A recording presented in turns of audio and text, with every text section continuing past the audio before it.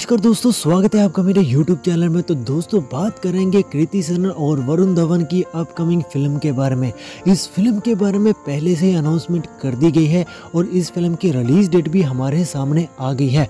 आज हम बात करेंगे कृति सनन और वरुण धवन की फ़िल्म भेड़िया के बारे में। इसकी फ़िल्म का पहले ही पोस्टर रिलीज़ कर दिया गया है और इस फ़िल्म के पोस्टर रिलीज़ होने के बाद फैंस के बीच में बहुत ज़बरदस्त एक्साइटमेंट बढ़ गई है और तभी से फैंस इस फ़िल्म की रिलीज़ डेट का इंतज़ार कर रहे हैं ताकि वो थिएटर में जाकर इस फ़िल्म का लुत्फ उठा सके।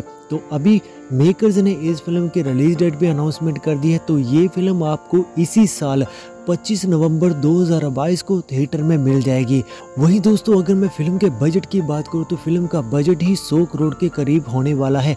इतना ज़बरदस्त बजट होने का कारण ये है कि इस फ़िल्म में बहुत ही ज़्यादा मात्रा में वीएफएक्स का भी उपयोग किया जाएगा, ताकि फ़िल्म को और भी ज़्यादा क्लियर और भी ज़्यादा बेहतरीन बनाया जा सके, क्योंकि फ़िल्म एक काल्पनिक भेड़िए के ऊपर बनाई जा रही है और इस फ़िल्म में वरुण धवन भेड़िए के किरदार में नज़र आएँगे और कृति सरन वरुण धवन की प्रेमिका का किरदार निभाएगी।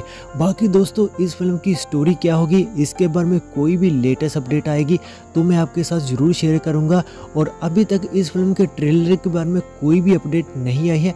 जब कोई अपडेट आती है, मैं आपके साथ ज़रूर शेयर करूँगा। तो इस वीडियो को आप लाइक करें चैनल को सब्सक्राइब